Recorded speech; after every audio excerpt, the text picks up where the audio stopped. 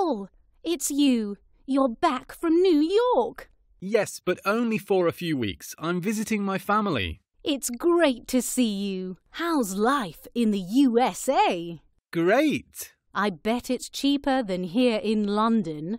Hmm, well, some things are cheaper and some are more expensive. Really? So how much does an apartment cost? In the city, the rent for an apartment is higher than in London. I pay $3,000 a month for mine. Oh, that's a lot more expensive than here in London.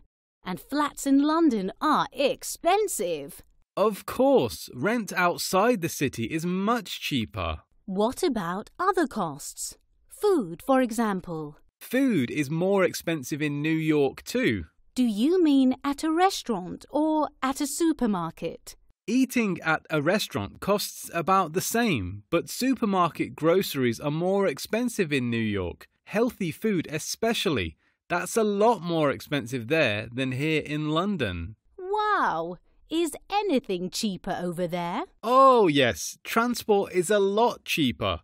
The price of gasoline is much cheaper than here in the UK. Oh, do you have a car there? I nearly bought one. New cars are much cheaper over there, but in the end, I decided I didn't need one. Taxis and public transport are much cheaper there too. That's good. Trains and petrol are so expensive here. Yes, I know. And my bills, you know, electricity, water, gas, they are far cheaper too. My electricity bills here in London were more than double my bills in the USA. Oh, lucky. Of course, I have to pay medical insurance over there. Oh, yes. We are so lucky here in Britain. We don't have to pay for medical care. Is your medical insurance expensive? Yes, it is. So, are you saving lots of money? Of course not. There's so much to see and do in New York. I love going to bars, restaurants, and shows.